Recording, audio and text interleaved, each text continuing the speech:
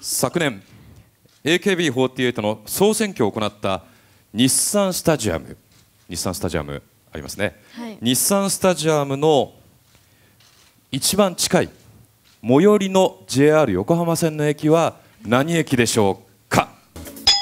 はい。ということで時間が参りました。では答えを見せていただきましょう、はい3人せーの。はい。ということで岡田さん小机え。ー横浜すみませんあの字が薄くて見えないんですけどそ 見ない方がいいと思います。いや見えてるんですけど見たくない感じがするんですが。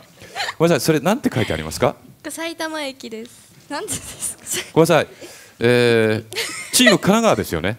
なんで埼玉はいなんですか、神奈川に埼玉って。そういうことなんですか？あそういうことですね。神奈川ごめんなさい。ちょっとごめんなさい。あのスーパーアリーナじゃないですよ。日産スタジアム。神奈川県の中で選べってことなんですね。ごめんなさい。埼玉。そうですね、まああ何もの書いてないです。まあ本当のしようがないですよね。えまあ第一問目ということなので、まあまあまあ。最近では女子高生のことを JK と呼びますが JR 横浜線についているこの JR とは何の略でしょうか、えー、わかんない。ということで時間です。さあ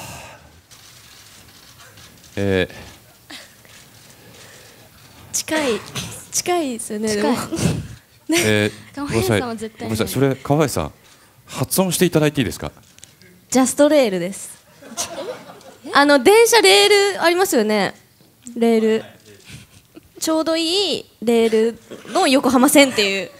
ここ正解はないんですけども、ジャパンレールウェイですね。あの、もともと、ええ、ちょっと難しいです。難しいです、ね。ええ。ジャパンラインでもまあ、まあ悪くはないです。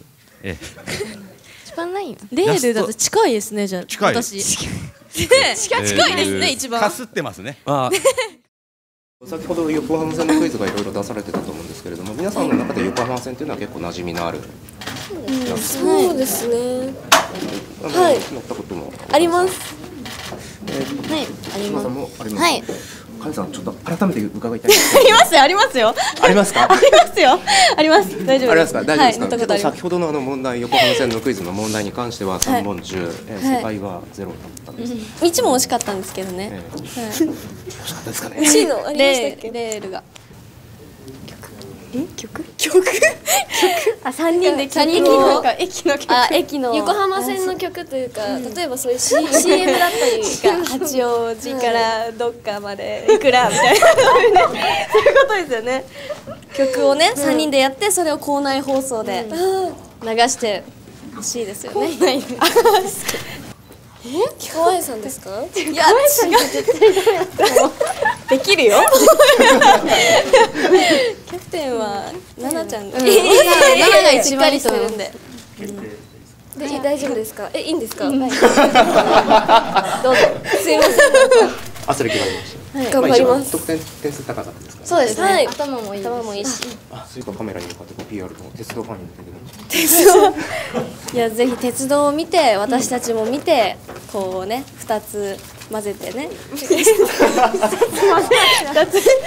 て。ですね。はい。一石二鳥です。横浜線。それです。はい。横線、うん。大丈夫ですか？チーム神奈川出だしから。大丈夫ですよ、大丈夫ですかはい。大丈夫です。大丈夫です。